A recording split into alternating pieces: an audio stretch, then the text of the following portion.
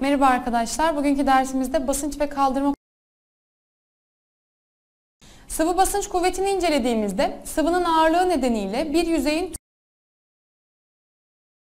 Şimdi arkadaşlar basınç konusunu inceledik. Birlikte konu kavramı verilen su ile dolu silindir seçeneğidir. Altıncı soruda düşey keste verilen kapta sızdırma